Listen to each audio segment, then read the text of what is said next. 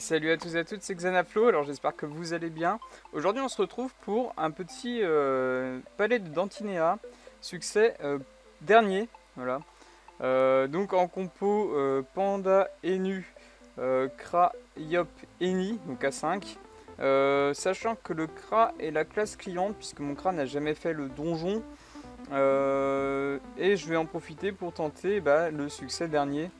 donc vous allez voir qu'au final, euh, même si le crameur, vu que c'est un client, ce n'est pas très grave du tout. En fait, on en a juste besoin pour le début du tour.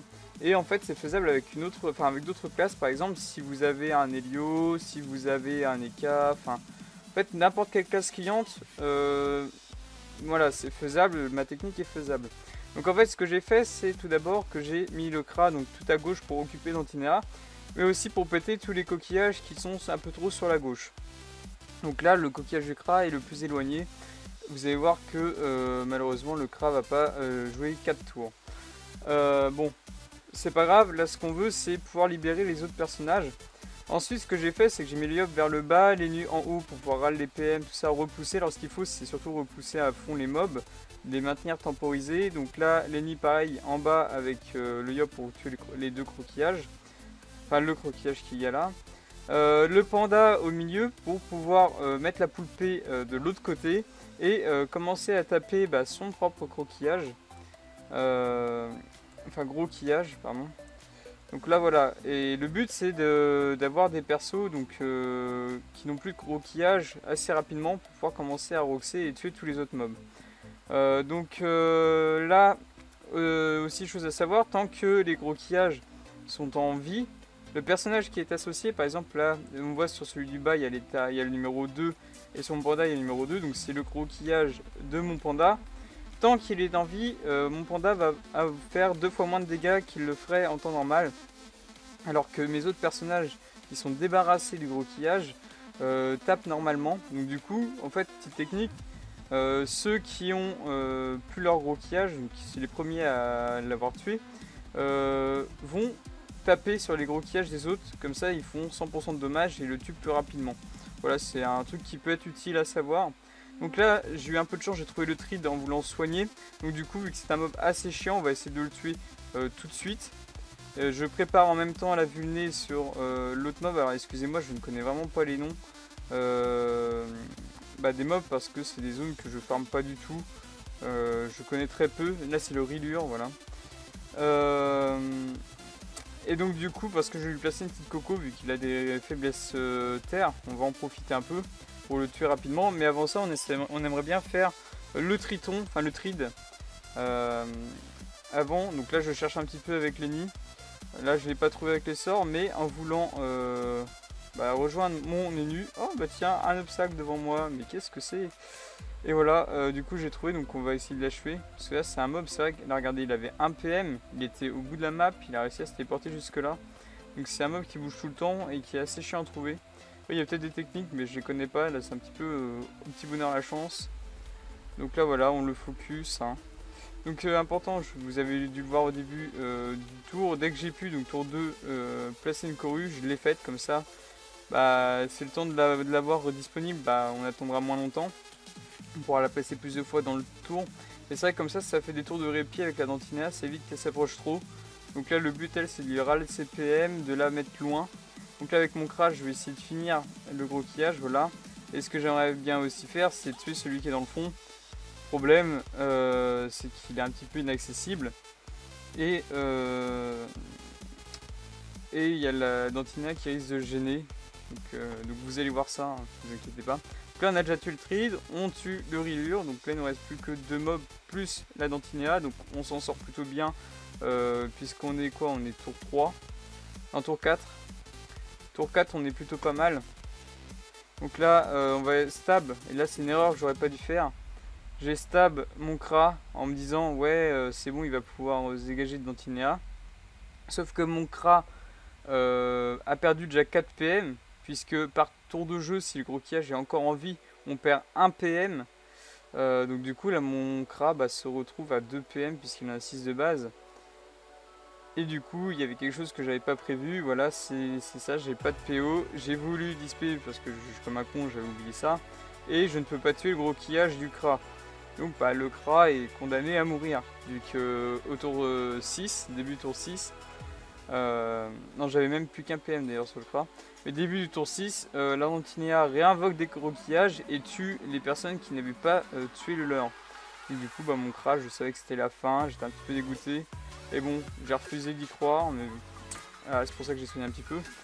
Mais voilà, donc du coup, euh, là, il y a encore les gros quillages à tuer. Donc là, je me suis dit, merde, comment je vais faire pour aller au bout, tout ça. Enfin, c'est un peu chaud. Alors, je commence à y aller avec le panda. Donc les autres personnages, bah, les euh, maintiennent à distance, puis commencent quand même à taper. Parce qu'il faut s'en débarrasser le plus vite possible. pour euh, Sinon, après, on va vite être immobilisé, on pourra plus rien faire. Pareil avec Lenny, on donne des PA, vraiment pour pouvoir rouler à fond. Je viens de tuer le quillages de Lenny. Du coup, toc, je peux os le deuxième. Donc comme ça, j'ai libéré en même temps le panda, euh, donc là il reste plus que Lenny et le Yop. Donc là avec le Yop hein, on se vita, on bon, on essaie d'aller roxer un petit peu son croquillage. Euh, et là la Dantinéa, alors c'est aussi de temps en temps elle peut se TP, enfin changer de position avec un gros quillage. Donc là je la repasse de l'autre côté. Toc, j'essaye de taper celui que je peux, donc celui des nus. Là vous voyez déjà les plus gros dégâts puisque le panda n'a plus sien. Je continue à râler de l'autre côté. Le diondin qui est assez chiant. La poulpée aussi, parce que la poulpée, si vous restez dans sa ligne de vue une fois, vous êtes en état insoignable pendant 2-3 tours. Et si vous refinissez euh, bah, dans sa ligne de vue alors que vous l'avez déjà, vous avez déjà le premier état insoignable, bah, vous perdez 100 PM pendant, euh, je crois c'est un tour. Et sauf que si vous restez, enfin si vous perdez 100 PM dans sa ligne de vue, Généralement, au tour d'après, vous êtes encore dans sa ligne de vue et donc vous perdez encore 100 PM. Enfin bref, je vous laisse imaginer le truc, c'est assez chiant. avec le panda, je place le de l'autre côté afin qu'il puisse atteindre le gros quillage. En même temps, bah, le diondin, il a tiré vers le yop. Donc du coup, ça permet de temporiser et puis lui de, faire en sorte qu'il ne fasse rien. Donc j'en profite avec mes persos pour le roxer, pour, euh, voilà, pour tout ça. Après avec le yop, bah, qu'est-ce que je vais faire? Je vais buter mon gros quillage, comme ça je libère toute ma puissance. Euh, je rox le Diondin qui n'a plus beaucoup de PM, donc je peux encore rester là. Je suis obligé de faire de bon tout de suite. Là, avec la Dantinia, bah, je la mets de l'autre côté afin qu'elle ne me fasse pas trop chier. J'aurai même plus des PM parce que là, je sais que je vais le finir. Toc. Lenny, bah pareil, je, donne des PH, je rox. Toc, il est fini. Je sois un petit peu mon Yop. Le Yop, qu'est-ce que je vais faire? Bah, Je vais vulner un petit peu la, dentille avec Brockle Pooch. Je vais revenir de l'autre côté. Toc, prochain tour, bah, on va essayer de la défoncer quoi. Donc là, avec le panda, qu'est-ce que je fais? Bah, Je vais placer euh, mes petites, euh, je vais la roxer un petit peu. Là, on n'est pas obligé de la hausse, hein. on peut tout simplement prendre le temps de la, tuer. Donc là, hop, un petit moins 1000. Donc on va, on va la tuer au fur et à mesure.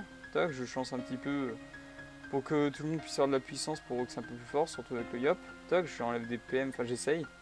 Heureusement, j'ai pas pu. On la rox avec les nibs, on va pousser le yop en lui donnant des PA, des boubous, tout ça, parce qu'il a plus beaucoup de vita. Tac. Et avec le yop, bah, on va passer une coco, enfin surtout de l'héros. Après une coco. Tac, et puis bah, la destin. Alors il faut toujours faire en sorte d'avoir euh, la coco et la destin le même tour, c'est toujours mieux. Après c'est pas obligatoire, mais bon, faut veiller à ça. Donc là les gros qui sont réapparus, donc on va essayer de les tuer. là c'est déjà un peu plus simple vu que j'ai un perso de chaque côté. Euh, ça devrait faire un petit peu mieux.